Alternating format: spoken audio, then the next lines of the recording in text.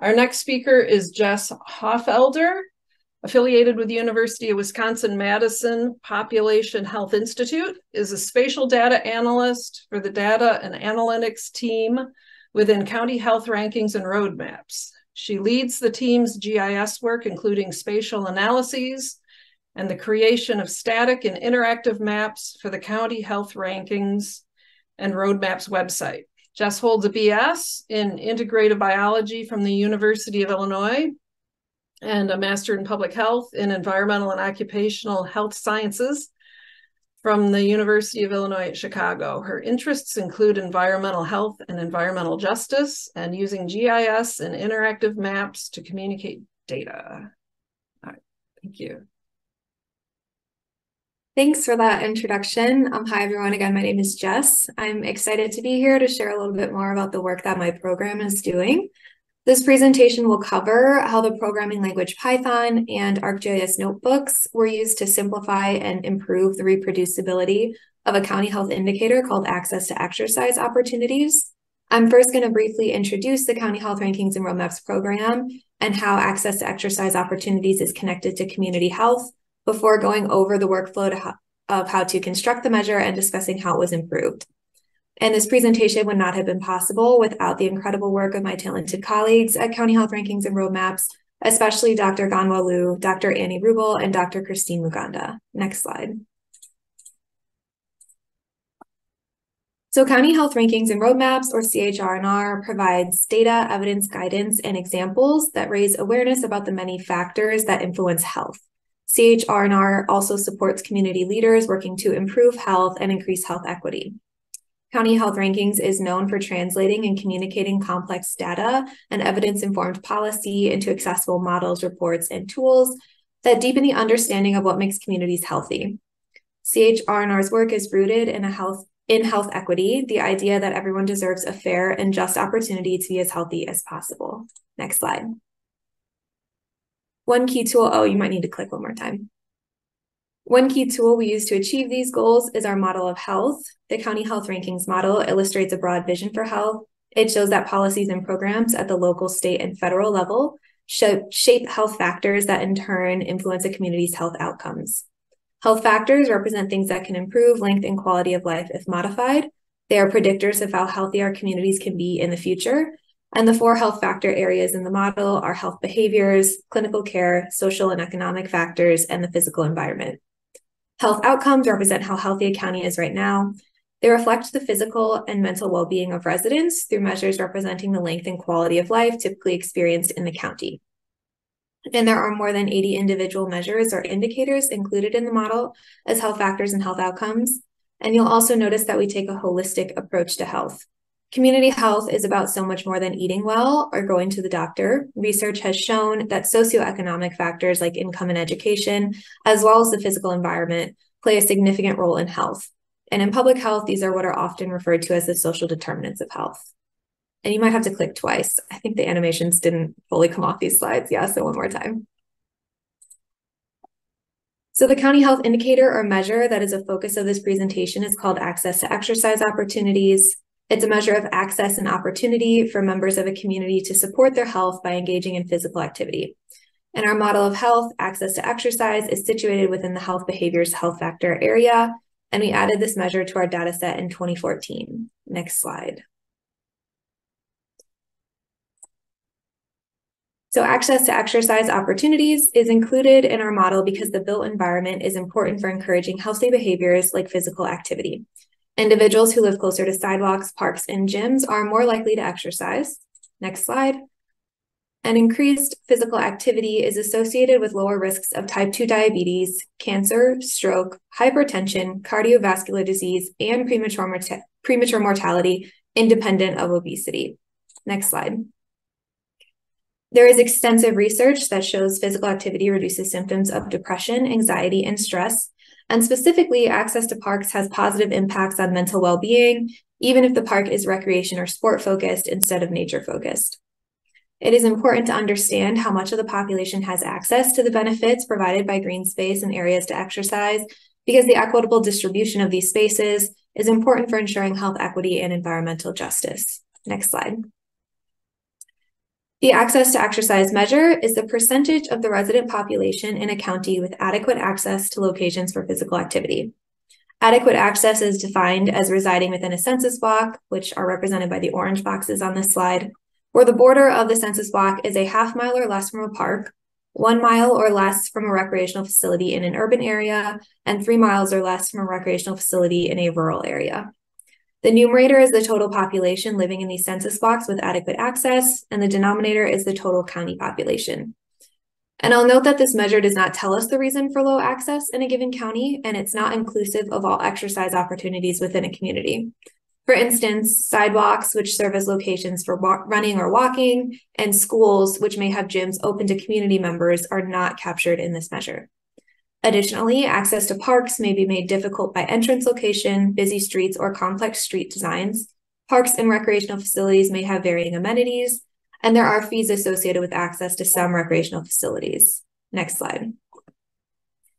I'm now going to go over the construction of the access to exercise measure and how Python and ArcGIS notebooks were used to mitigate the risks of the original manual point and click workflow. Python is a general purpose programming language that can be used for data analysis and task automation, and ArcGIS Notebooks provides a Jupyter Notebook experience and allows users to create documents that contain live Python code and narrative text. The construction of this measure is complex, and it used to take several weeks to complete. It has five input data sets, which I'll show on the next slide, and requires the use of multiple ArcGIS tools. One risk year to year was that different tool parameters might have been used for something like the buffer tool in ArcGIS Pro, and this made the measure difficult to reproduce. Additionally, the measure was constructed using ArcGIS Pro and SAS, and exporting data from Pro and importing into SAS added a lot of time to the process. And further, the use of a point and click approach in ArcGIS Pro left room for human error when interacting with the geoprocessing tool interfaces, and meant that collaboration was limited to teammates with GIS software experience. Next slide. These are the five input data sets used in the construction of the measure. USA parks from the ArcGIS Living Atlas, recreational facility locations with the SIC codes shown on the slide from the ArcGIS Business Analyst, YMCA facility locations provided by the YMCA, and census urban areas and blocks from the census Tigerline shapefiles. The ArcGIS business analyst and census block data sets in particular are very large. This past year, there were more than 80,000 records in the business analyst recreational facility data that we pulled, and there are more than 8 million census blocks from the 2020 decennial census. Next slide. So this is a diagram of the workflow that was previously used, and there's no need to try to read everything on the slide. The purpose is just to show that the measure is complex to construct. Next slide. So this portion of the workflow was completed in ArcGIS Pro with a point and click approach in the past. Some key steps that are important for understanding the construction of the measure and some of the weaknesses of the past approach are as follows. One, the creation of the buffers around parks, YMCAs, and business analyst recreational facilities. For the recreational facilities, the size of the buffer depends on the facility's urban or rural status, and two, once the buffers are created around the parks and recreational facilities, they're all merged and dissolved together into one large multi-part polygon, which I'll refer to as the All Parks and Rec Facilities polygon. And as I mentioned earlier, the buffer tool is one where all of the parameters that were entered into the tool year to year weren't documented, and this made it difficult to duplicate the workflow and get the same exact results. Next slide. This image is centered on Wisconsin and it shows what the buffered parks and recreational facilities look like. Um, in ArcGIS Pro, there are two possible method parameters when using the buffer tool, planar and geodesic. And the default parameter is planar. And with that method parameter, the tool will create Euclidean buffers if your input data sets are in projected coordinate systems, and geodesic buffers if the input data sets are in geographic coordinate systems, so not projected, and then if the user specifies a buffer distance in linear units, which we do. In the past, some of the input data sets for this workflow were projected and some weren't. Um, and without knowing for sure which method parameter was used by the tool, this could have resulted in a mix of Euclidean and geodesic buffers being created and then merged and dissolved together. So one big advantage of the Python code in ArcGIS notebooks was that the parameters used in all of the geoprocessing tools were typed out in the code And Markdown can be used in the notebook to make it to document the rationale behind which parameters were used and also to include links to the ArcGIS Pro tool documentation. Next slide. This is a section of the ArcGIS notebook that shows the notes and links to external documentation that be could that could be included alongside the Python code. Next slide. Going back to the key steps in the workflow, the third step to note is that the census blocks in each state are intersected with the all parks and rec facilities polygon. And the population in the blocks that intersect with the polygon is the population that has access to exercise opportunities. The intersect tool is run 51 times because the census block files for some states are so large that they'll run for several hours, especially for like California or Texas. And because of how time consuming the step is, both to re-enter the parameters in the tool interface and to let the tool run, this is one of the reasons um, why the workflow is so long in the past. This step in particular would be spread over multiple days. So the automation of this step with Python code was one of the biggest reasons so much time was saved in the updated workflow. Next slide. To illustrate what the output of the intersect step looks like, this image is centered on Wisconsin, and it shows the census blocks that intersect with the buffered areas around parks and recreational facilities. Next slide. Finally, in the past workflow, the attribute tables of the outputs from the intersect tool, um, which the outputs were shown on the previous slide, were exported from ArcGIS Pro and the final aggregation of the data to the county level and the calculation of the final measure, the access to exercise opportunities was done in SAS. Next slide. Python and ArcGIS notebooks allowed the workflow to be completed almost entirely in ArcGIS Pro, as is shown in this diagram of the updated workflow.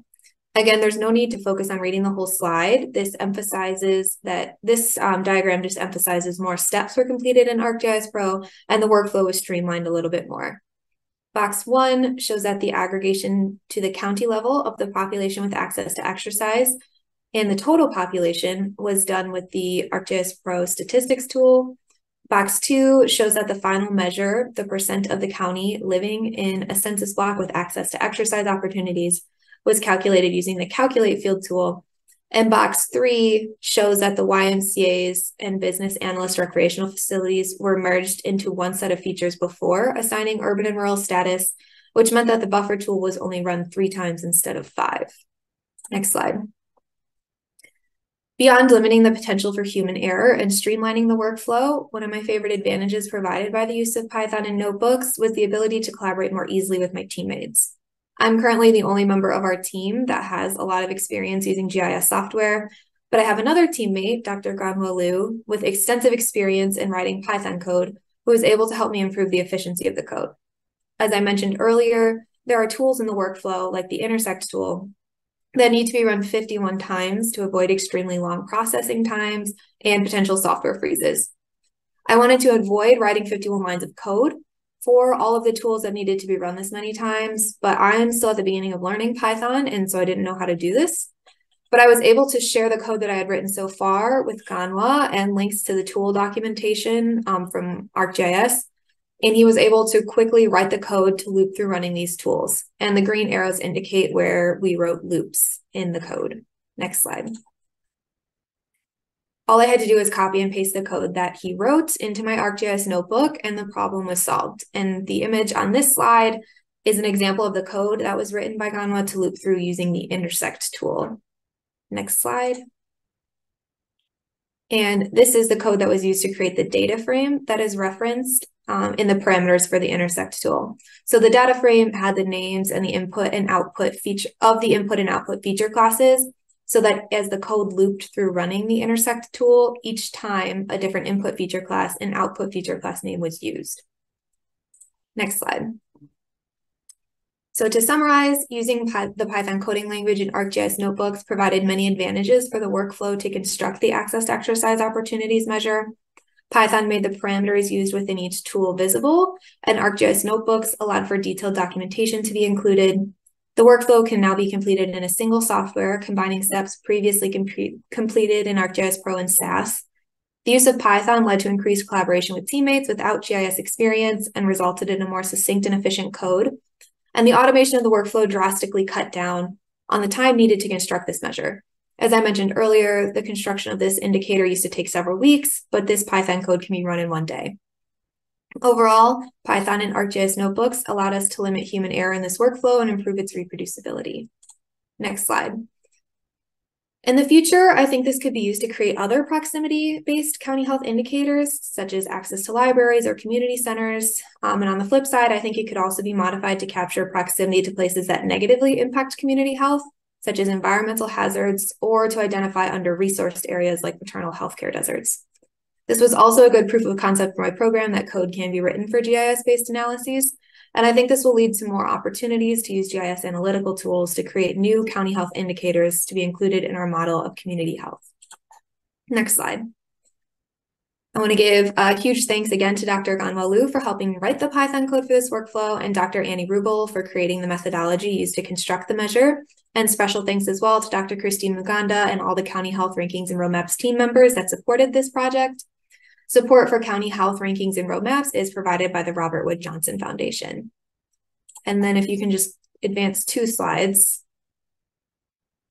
Um, these are the ways that you can stay connected with county health rankings and roadmaps. We welcome requests for continued conversation, including data and code sharing, and those can be directed through the contact us form on our website. And I also included a link to the Living Atlas, where if you search county health rankings, you can find our data in the ArcGIS Living Atlas. Thank you.